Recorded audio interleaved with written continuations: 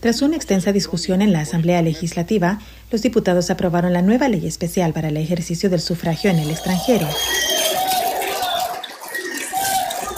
Los diputados del partido oficial celebraron la aprobación, pero la oposición mostró su descontento.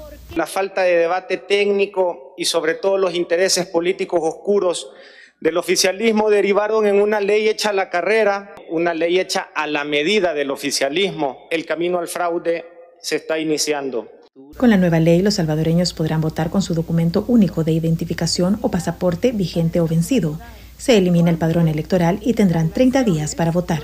No hay garantías de que ese registro electoral va a ser transparente y un fiel reflejo de aquellas personas que realmente tienen que estar habilitadas para ejercer el voto. Nosotros somos los primeros en querer asegurar la transparencia de estas próximas elecciones. El Tribunal Supremo Electoral deberá contratar a un tercero para administrar el voto electrónico.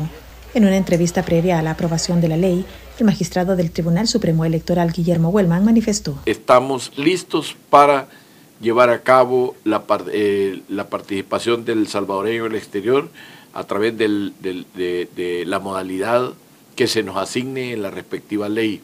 Los salvadoreños que voten desde el exterior solo podrán asignar su voto al departamento de San Salvador y no a sus municipios de origen.